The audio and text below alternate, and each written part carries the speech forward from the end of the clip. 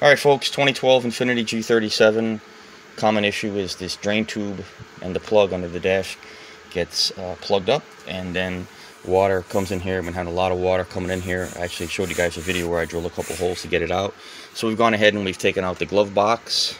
We've taken off this A-pillar piece. We've taken off this one piece over here, which isn't really necessary for the vent. And there's our glove box and everything is about six or seven screws and then it just pops free. And I want to show you guys, like I showed you here, this is the drain tube. It's a little bit of water, a little bit of dirt in here. We're going to take some water and try to flush that through.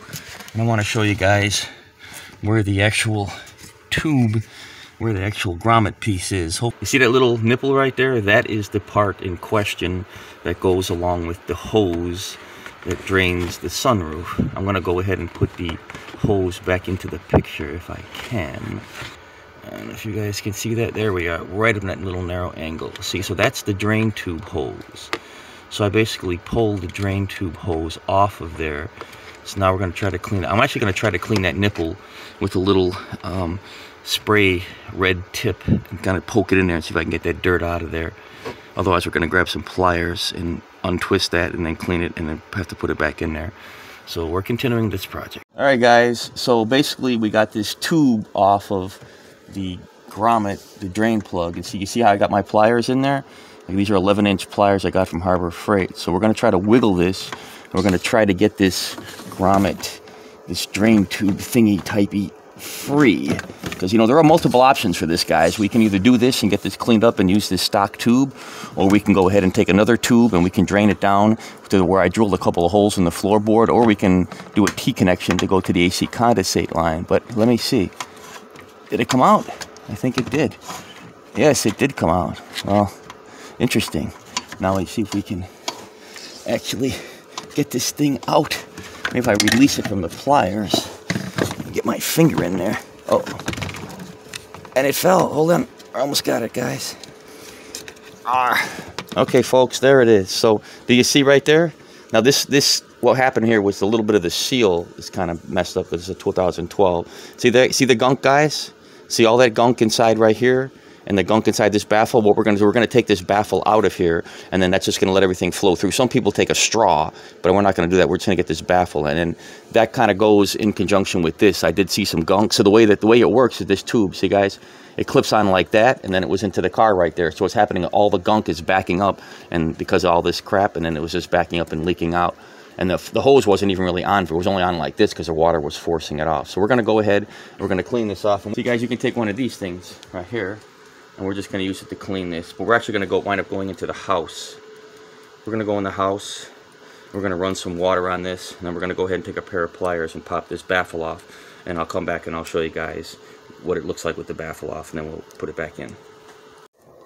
All right, go, guys. Another part to this ongoing saga with the G37 drain tube. So as you can see, we took the drain tube off and you can see we took this baffle, just took a pair of pliers and just broke it free, this little baffle that was inside that was kind of slowing things down and getting clogged up with dirt. And then I went ahead here and I cleaned everything off. As you can see, it goes straight through, nice and clean. So we've gone ahead and done that. There is a little issue with the gasket around here where it's a little messed up. So I'm going to go ahead and take some of this uh, multi-purpose glue right here and put it on this gasket here because you want to have this gasket nice and tight when you pop this drain tube back in and then we're going to put the hose on the other side. So what I did was to clean it guys I just went ahead and took some q-tips right? You can see that I just took some q-tips took it out grab all the gunk out of there got nice and clean. So the goal is we're going to have this drain tube nice and clean. That baffle is off of there and then we're going to go ahead and we're going to route some water Alright folks, so what we're doing is we're doing this drain plug here some more. And what we're going to do is we're going to run some water. We already ran some water through the drain tube and it came out nice and clear. So basically, the hole is right about right in there. So all I'm going to do is pour in some water over here. And look at that. See, the water is coming out right away. And it is bringing us a little bit of gunk. So that's why we're doing this. We're going to do this here so we're going to try to clear this up. As you can see, see, we're going ahead and we're putting it here and it's going down the drain.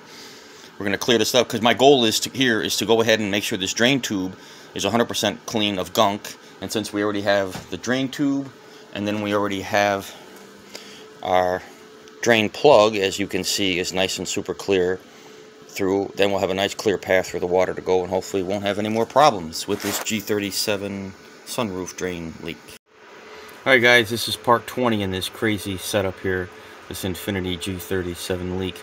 I'm basically coming at it from the front of the car, the dash, and that right there is the nipple. So I've gone ahead and we've taken it out, and we're showing you guys how to do the water drain, and now we have it pushed back in place. We used our pliers and we came up from the bottom, and then I've gone ahead in here, and I've taken a pair of screwdriver here, and I've pressed it, and I believe that I have it in place, one thing you have to do is you have to, there's some insulation on the side. You have to move that insulation so you can get this thing to clip in. So I believe I have it in place right now, guys. So you can come at it from here. So this is a good reason why to keep this vent piece off. So you can go ahead and you can press it in from here. So you can see the you can see the part right there. So now what we're gonna do is we're gonna hook up the hose. We got to get past that wiring, that piece of wiring right there. Ay, ay, ay, why is the wiring? There we go. Okay, now the wiring's out of the way. So now I should be able to pop the hose back on. And that's about as far as it goes, guys. It only goes on about, it goes on about that far. So hopefully, when we're going to go do this right now, um, we have the hose on as far as it can go. And as far as it can go is going to be as good as it needs to be and we're going to run some tests right now, guys, for water. So we're going to see if the water is either leaking out of where the gasket kind of messed up onto the car, or maybe it's coming out the hose. But I think that that hose is definitely on as far as it was before. Another thing you can do is we can remove some of this tape up here and kind of get it down. But you guys get the idea of how to hook the hose in there, right? So, all right, we're going to cancel this, and then we're going to go ahead and uh, grab some water and see what's going to happen. All right, guys, so as the previous video shows, we've been working on this drain tube, and that is the piece, the drain tube where it goes into the plug. Hopefully you can see that kind of right there. It's really tricky to see with the camera. There you go. You can see the now you guys can see the holes right there and you can see I took all this part up here and we went ahead and we pushed it together underneath here. And then what I did guys is to test things is I went up here and there's a hole right in here where it drains. So I went ahead and I poured some water into the drain here. And then obviously it comes down this hose here and goes into that piece right over there come in over here and I didn't see any leaks. So hopefully this problem is solved but now I have to go and put everything back together. Alright everybody. So as you can see we have put everything back together right? So we went ahead and we had put some water in here and we've taken this side piece out and taken all of this out.